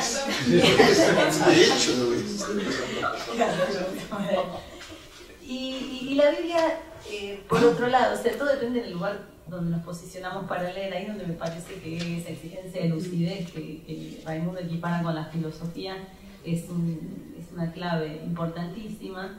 Eh, en ese lugar, sin duda, se usa la Biblia como una destrucción masiva y también en ese lugar la Biblia es leída como la posibilidad de salvación y lo, que, eh, lo que eh, impediría esa destrucción masiva. hoy en día si hay voces que son, eh, que son tajantes y son las más críticas eh, dentro de los judíos que habitan en Israel, son los judíos, los judíos ultraortodoxos. Ellos hoy están reclamando que intervenir en la explanada de las mezquitas, que sería el monte del templo dicho en hebreo, es un sacrilegio. Eh, porque es un lugar prohibido, porque es ni más ni menos que el lugar de la Santa, de la Santa Santorum. Y entonces no se puede usar al libro ¿sí?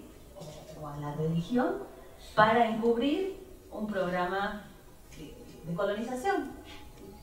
Así, eh, claro. Eh, me parece que el concepto que estaba diciendo Raimundo, yo no, no conozco a este autor que habla de, de la guerra diseminada, ¿no? ¿Cómo dices? Enzensberger. Voy a buscarlo, ¿no? Eh, me parece que, es fundamental porque, porque atañe a todo. Y concretamente en este lugar que es donde yo me, me centré porque digamos, es la lengua, una lengua que es archimaterna para mí y por eso me dolía tanto. Eh, ahí podemos constatar, pero así, eh, con una, una crónica de la construcción de un odio, ¿sí? que se disfraza por comodidad, por esa comodidad cómplice, ¿sí? se decía, eh, como un odio irrebasable, ancestral, de toda la vida. Ando un video por internet donde muestran que, uy, desde ya casi, eh, no sé, ya desde qué época, antes que los filisteos, no sé, antes de los, cuando ordenó matar a los cananeos, y quizás seguramente antes ya se odiaban, antes de nacer. Antes de nacer. Y cuando uno va a la fuente bíblica, resulta que en la fuente bíblica está lo que rebate toda esa lectura. Resulta que la Biblia, para dar tan solo un dato, ya que hablaste de Ismael, ¿sí? Ismael es el primogénito de Abraham, ¿sí? y la primogenitura es derecho a todo. Entonces, y dice la misma Biblia, ¿sí? en el Deuteronomio, que cuando el primogénito es hijo de una mujer odiada, cosa que no era el caso de Agar, porque parece que la historia de amor con Agar siguió después de muerta Sara, sea, la mujer con la que se vuelve, con la que se casa. Eh, Abraham, que se llamaba Actura, parece que dicen los exégetas que no tenían miedo de estas cosas, decían que era Agar, que era muy, muy fiel y lo esperó. Pero mm, aún si fuera la odiada, eso no cancela la primogenitura. Entonces, bueno, si el libro va a ser ¿sí? la, mm, el expediente del juicio de sucesión eh, Abraham, Ibrahim e hijos. Eh, creo que ahí mismo está también la respuesta en todo caso. Si queremos tomarlo así, pero como no es un libro, un expediente de sucesión, ni nada por el estilo, está también lleno de todos esos, de esa débil fuerza de la que habla Benjamin, esa débil fuerza mesiánica, eh, que con mucha humildad uno trata de sí, de ir, de, ir volando, a lo largo de una lectura que trata de, desarmar algo candente. Las resonancias acá son importantísimas, eh, porque esa guerra diseminada y diseminante es la que es la que está la que está en juego. Porque cuando vemos el tema del agua, nos remitimos a Isaac con el tema del agua, pero tenemos el tema del agua ahora. Eh, los, informes de la ONU sobre el asunto del agua en Israel y tenemos el agua acá, eh, resuenan, resuenan. No quiere decir que sea lo mismo, aquí la clave es la diferencia, pero eh, ahí está también la posibilidad de, a partir de un rodeo, por un tema tan lejano, por un libro tan lejano como la Biblia, que nos puede ofrecer la posibilidad de un espejo bien lejano para mirar lo, presente, un, espejo de la diferencia. Eh, por supuesto que el, libro, como lo decía Yadi, está situado aquí, está pensado desde aquí, no, puede haber sido pensado allá eh, eh, en, el, lugar de los hechos. Pero sí trata, y eso se lo robé a Benjamin también, pero confieso que se lo robé a ti, de organizar el pesimismo. Y me parece que ese es un acto de lucidez, tratar de organizar nuestro pesimismo ahora, aquí, porque es mucho, ¿sí? pero desorganizado se nos vuelve en contra. Entonces, nadie habla de optimismo, ¿sí? Eh, no se trata de nada óptimo, ¿sí? se trata de ver desde nuestra fragilidad y humildemente qué es lo que, lo que se, debe pensar, lo que se debe empezar a sacudir de lo que hasta ahora estábamos repitiendo, diciendo o intentando escuchar. ¿Y en qué medida reconocernos como cómplices? ¿sí? O sea, la verdad, yo escribo este libro pensando en, en los años en los que fui criada como cómplice. ¿sí?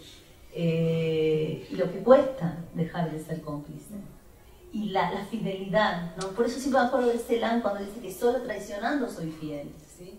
Y eso es un acto de los profetas, ¿sí? O sea, el profeta eh, decía lo que, no, no que yo me diga profeta, por favor, no tomo autores proféticos, ¿sí? Hay autores proféticos que se atreven a decir lo que, no se puede escuchar en el momento, como Buber, como Kafka, vayan a leer el cuento Chacales y Árabes, y uno no puede creer que en el año 17 Kafka escribe este, está prefigurando todo esto, en el año 17, ¿saben quién lo publica?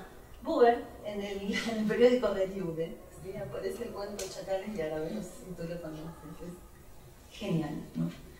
Eh, parece que el que se sintió interpelado, ¿sí? dice, que perdió la, oportunidad, el narrador de Kafka en ese cuento se puso en ese lugar, Teodoret, ¿no? parece, ¿no? cuando le vienen todos los chacales y le dice, le traen una tijera ancestral, le dice que tiene que matar a todos los.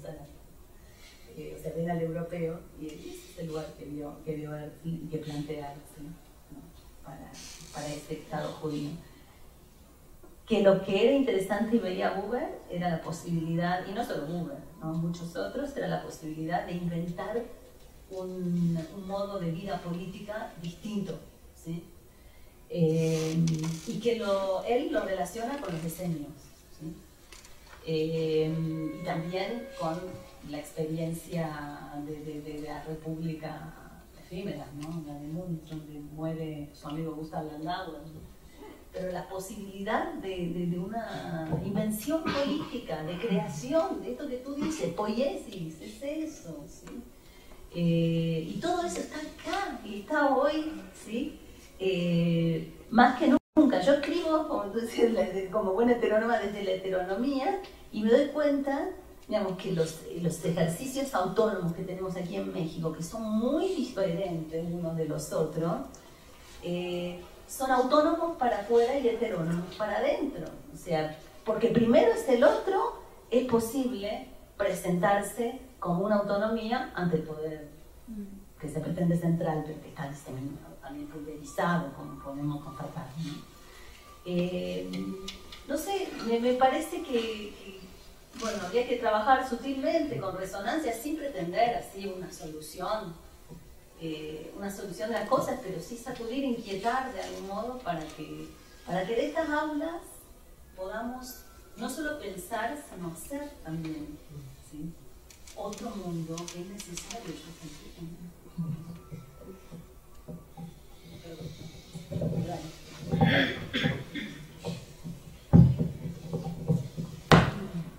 pues eh, en realidad me quedé con una curiosidad, pero creo que leyendo el libro se me resolvería, ¿no?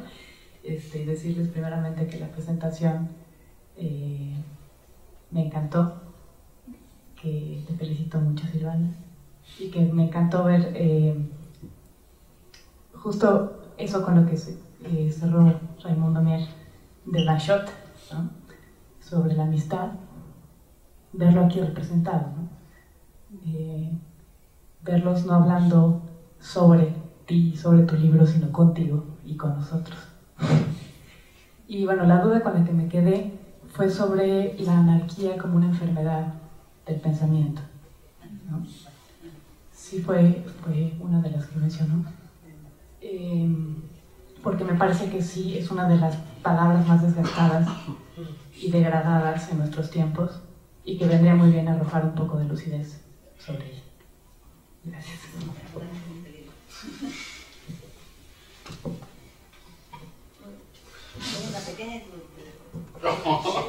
No, no, eh, esto yo también lo rodé, también pongo el autor aquí, se lo rodé, no me, reclamen.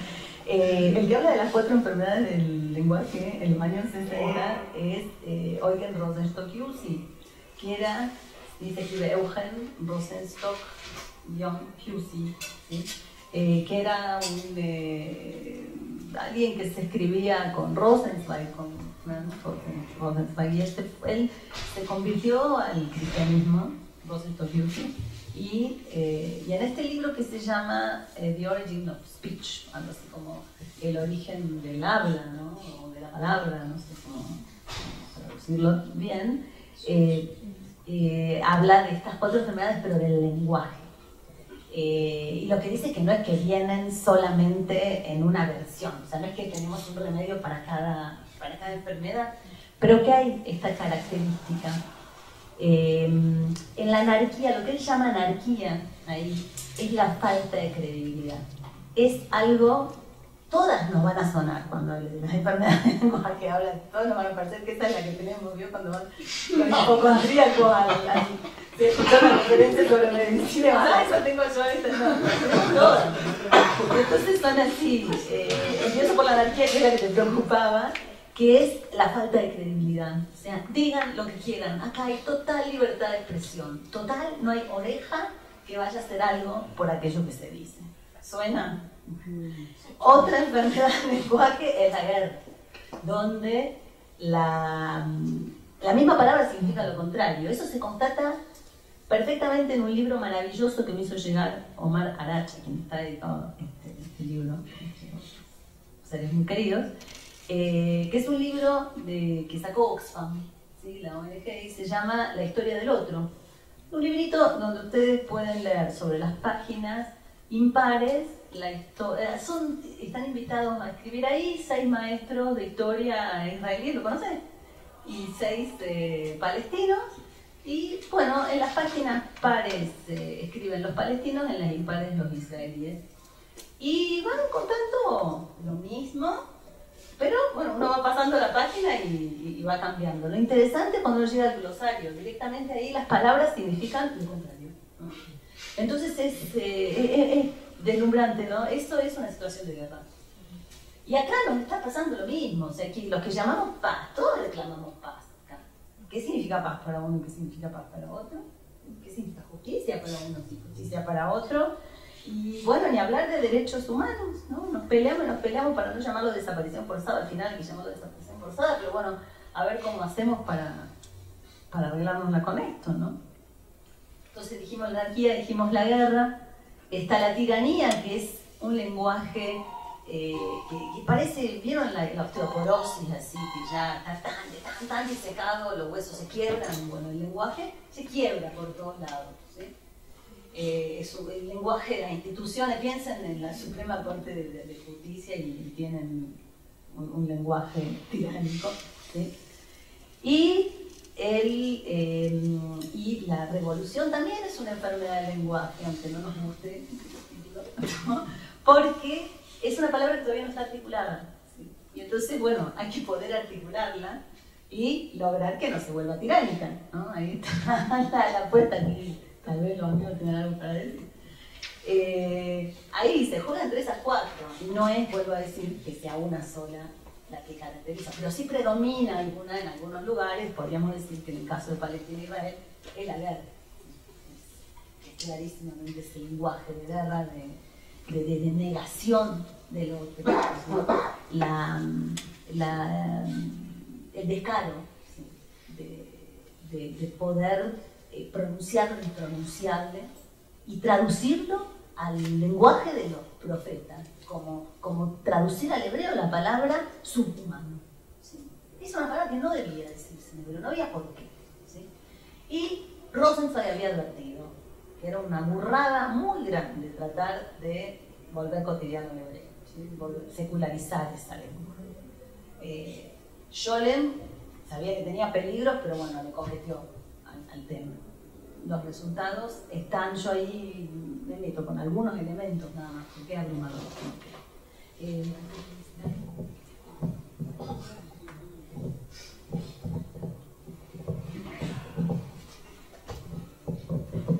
bueno, primero me gustaría dar las gracias. Estoy sorprendida, anonadada y de verdad con muchísimas ganas de leer el libro. Muchas felicidades. Y bueno, eh, me gustaría hablar acerca de la indiferencia que ustedes están planteando, porque bueno, creo que lo, esto es lo que nos estamos apoyando y en lo que estamos viviendo. Es decir, eh, creo que a través de esta nos escondemos y creemos que no tiene nada que ver con nosotros lo que está sucediendo.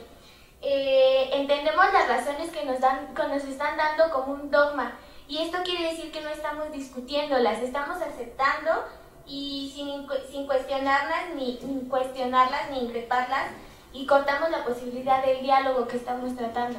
El diálogo como cuestionar y construir a través de estas razones todo, todo lo que estamos creyendo y todo lo que estamos viviendo.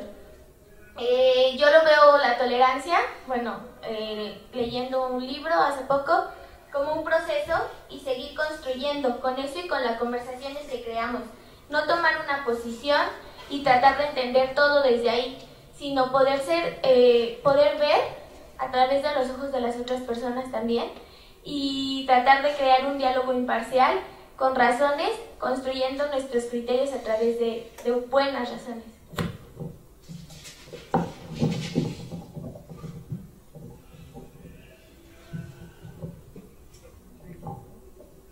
Muchas gracias, muchas gracias. Sí, tenemos que ver bien. me, encanta, aparte de escucharte tan joven decir estas cosas, me da mucha esperanza. ¿Eres alumna de esta facultad? Sí, soy de la carrera de desarrollo y Qué bueno, qué bueno. eh, ¿Vas al curso de Pietro? No, todavía no. los cursos de Pietro. Eh, Sí, después habría que revisar un poquito la cuestión, ¿no? De, qué entendemos por razones, sobre todo esta cosa imparcial, ¿no? Eh, a lo mejor tendríamos que tener una parcialidad múltiple, una parcialidad de tiempo completo, y, itinerante, quién sabe cómo, ¿no? Pero, pero sí, qué, qué esperanza, qué, qué bonito, eh, Está todo clarísimo, Javier.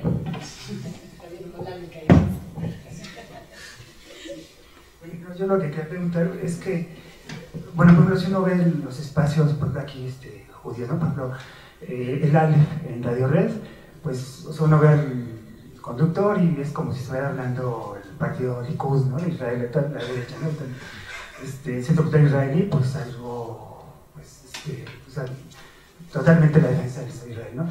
los periódicos judíos, el Kesh, entonces, o sea, en México pues eso pasa, ¿no? Es, este, este, pero ¿qué pasa con las voces disidentes dentro de la misma comunidad judía?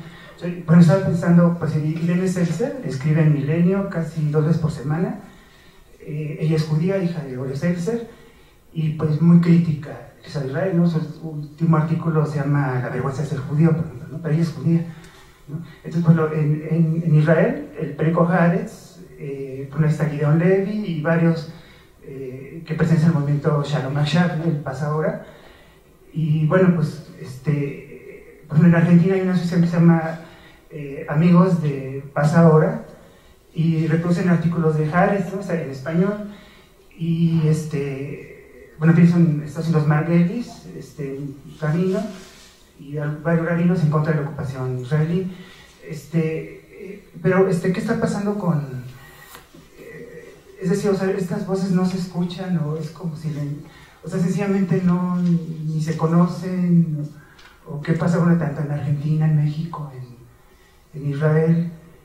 O sea, porque están demostrando con hechos, con datos, que, bueno, este, cómo empezó la ocupación, eh, qué pasó a partir de que ganan los, partidos de derecha en 1977. Eh, o sea, toda una serie de datos, cómo se da la ocupación, o por ejemplo, cómo se da ese discurso de que, ah, bueno, es que qué malo los palestinos porque mataron a un judío. Bueno, sí, pero es un judío que estaba en, Cisjordania, en Jerusalén Oriental, en una zona ocupada, o sea, el problema es la ocupación, o sea, como que eso no se maneja en los medios de comunicación. O sea, bueno, sí, o sea, claro, sí es, condenable que un árabe mate a un judío, sí, sí, pero, pero hay una ocupación, o sea, eso es lo, principal. Entonces, o sea, van a seguir ese tipo de crímenes con cuchillos, con, porque hay una ocupación. Entonces, como que no se llega a ese punto, ¿no? Ni en los medios de comunicación, o sea, la comunidad judía en sus periódicos eh, escamotea eh, este tipo de hechos, ¿no? Entonces, como, ¿qué pasa con ese silenciar a los disidentes dentro de la misma comunidad judía? ¿Alguien quiere contar algo? Bueno, yo te puedo hablar un poco de, la experiencia sin hacer autobiográfico, pero eh, así como está el miedo a, pasar por antisemita, cuando semita tiene un sentido nacional claro, ¿no? Porque en realidad si aludimos a los hijos de Sem, están juntos, ¿no? La islamofobia igual de dañina, de dañina y antisemita que la judeofobia y que como me gusta más, como dice Levinas, el odio del otro ser humano, ¿sí? los millones y millones muertos eh, por ser otros, es también antisemitismo, con mucha lucidez lo dice Levinas. Eh,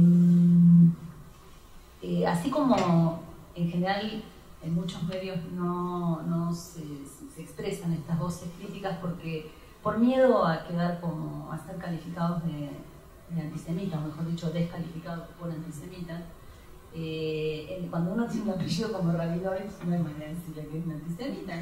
Entonces, otra categoría hermana de antisemita que es la de que se autoodia, un que se autoodia.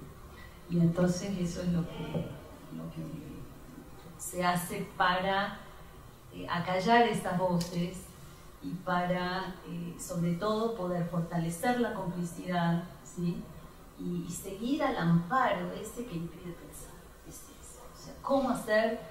Y yo creí mucho tiempo, porque realmente vengo, a pesar de que mi padre era comunista y por eso yo llego a los seis años al mundo de la educación judía, porque mi padre llegó, yo tenía cuatro, eh, la, había ciertos, ciertos acuerdos tácitos, como que las críticas se hacen adentro. ¿sí? Ahora, después de décadas de críticas intramuros, donde, donde uno, no sé, yo por lo menos tomé conciencia cuando tenía 18 años, en el año 82, con Sabri Yatila, eh, ahí entendí que, que, eso estaba muy mal, algo, algo estaba muy mal.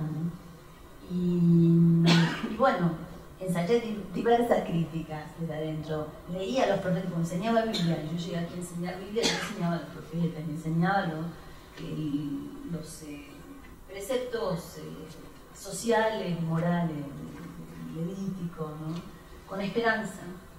Eh, me di cuenta que había una, una muy grande, pero muy, muy efectiva por otro lado, difícil de penetrar.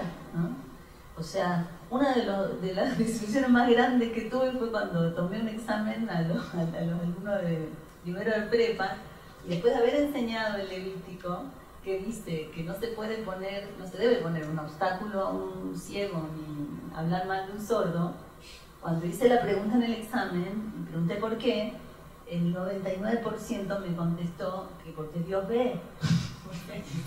no se puede hacer. Entonces hay algo impermeable, ¿sí? algo muy. Eh, y tiene que ver con una, con una actitud, me gusta esta diferencia que hace de, todo, tiene algunas cosas que por ahí dan en clavo y una de ellas es esta diferencia entre la actitud moral y la actitud moralista. La actitud moral asume en primera persona, y la moralista sería la loca. Y aquí es, una, es un amparo así muy, muy efectivo este de señalar al otro. ¿no? Entonces, eh, no hay manera de decir yo, ¿sí? no debo poner el obstáculo del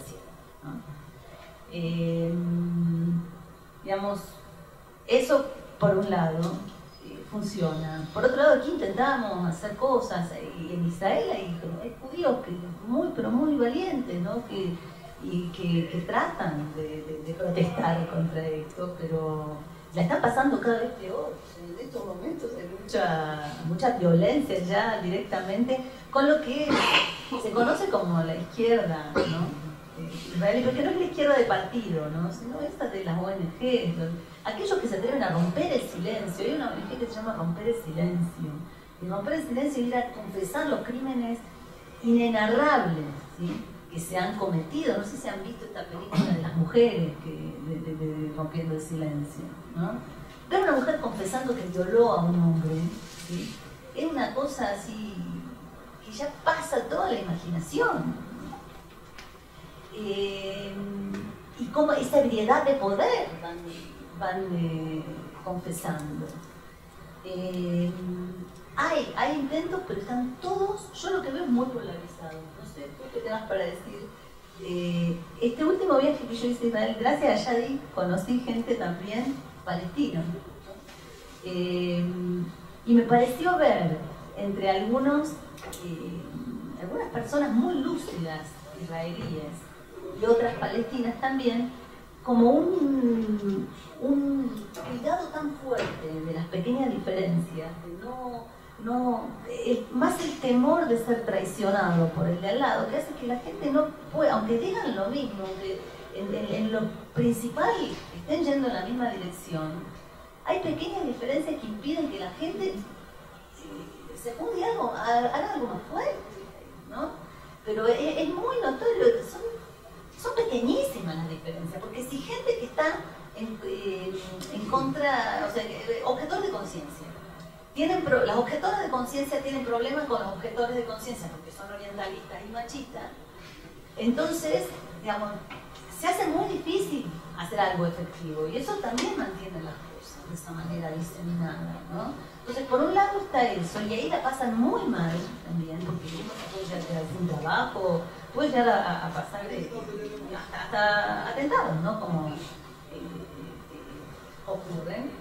Eh, en, las comunidades judías, hablo concretamente en la de México, que es la que yo llegué a enseñar Biblia hebrea, yo enseñé Biblia hebrea hasta que pues ya me dediqué a estar acá y, hoy en día mi nombre está muy manchado en la comunidad judía por, por estas cosas, por, eh, por haber, eh, por haber eh, hecho una iniciativa desesperada y de nombre impresentable con, amigos muy queridos que tenían la misma inquietud, que es adoptar un muerto. Eh, algo que proponía algo, una acción descabellada, porque lo que trataba de mostrar es descabellado. Eh, algo que impidiera de cualquier modo una, sentirse así reconfortado como un altruista. Eh, fue una acción desesperada, pero eso, eso cuesta caro. Entonces cuando uno después intenta hacer una acción bien menchevique, como esta de, pedirle a Peña Nieto que reconozca formalmente a Palestina, es algo de salón, una cosa así. Va a firmar eso.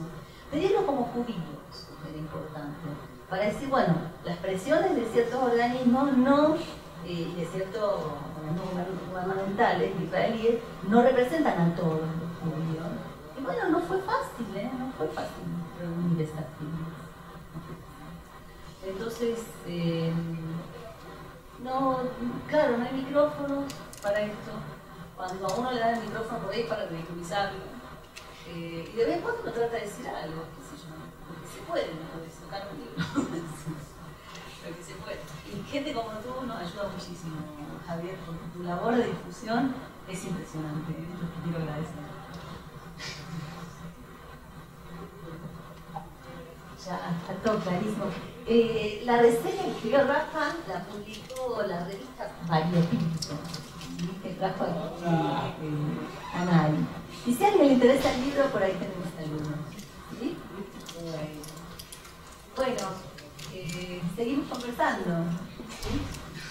Muchísimas gracias y gracias por ese, ese detalle, es cierto. Esto fue sobre todo un encuentro de amigos. Sí, muchas, muchas